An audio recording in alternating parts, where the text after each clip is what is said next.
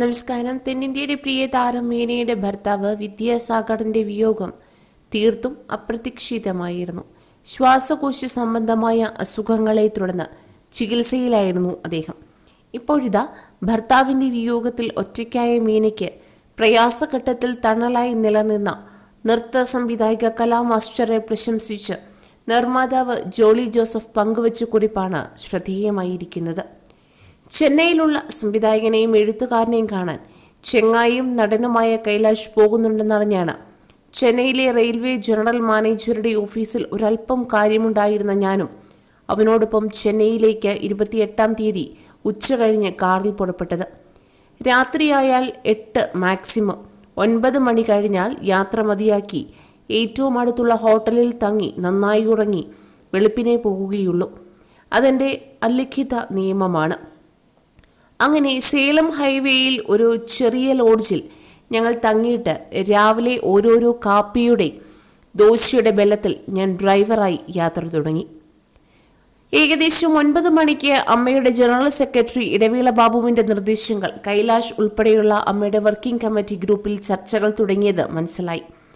ദക്ഷിണേന്ത്യൻ അഭിനേത്രി മീനയുടെ ഭർത്താവ് വിദ്യാസാഗർ അന്തരിച്ചെന്നും അവരുടെ ചെന്നൈയിലെ വീട്ടിൽ പോയി അമ്മയ്ക്ക് വേണ്ടി ആദരാഞ്ജലികൾ അർപ്പിക്കണമെന്നും ചെന്നൈയിലുള്ള പലരെയും ബന്ധപ്പെട്ടിട്ട് എല്ലാവരും തിരക്കാണെന്നും ആർക്കെങ്കിലും ഉച്ചയ്ക്ക് രണ്ടു മണിക്കുള്ളിൽ അവരുടെ വീട്ടിൽ എത്താനാകുമോ എന്നായിരുന്നു ചർച്ചയുടെ ഉള്ളടക്കം.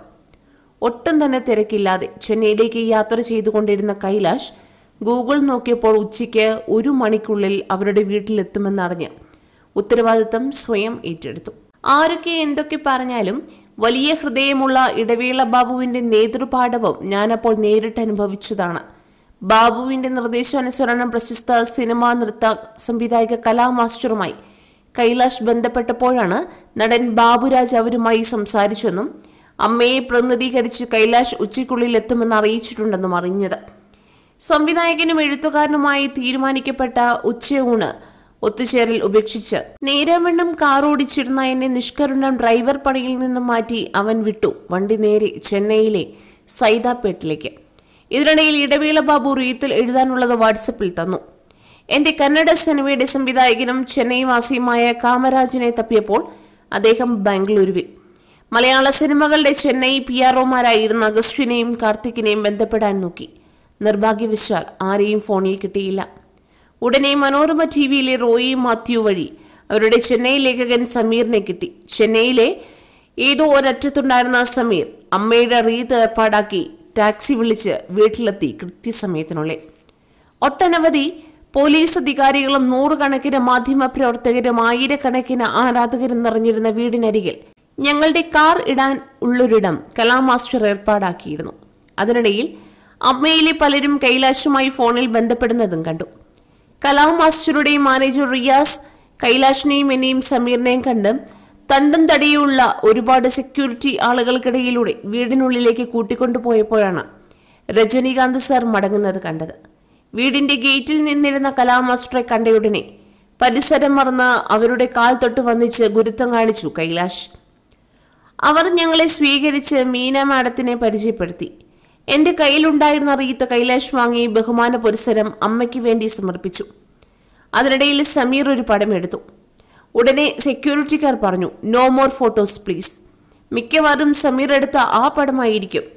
പുറത്തുനിന്നുള്ള ഒരാൾ വീടിനുള്ളിൽ എടുക്കപ്പെട്ട മനോരമയും മാതൃഭൂമിയും മറ്റു മലയാള മാധ്യമങ്ങളും പ്രസിദ്ധീകരിച്ച ഏക ഫോട്ടോ.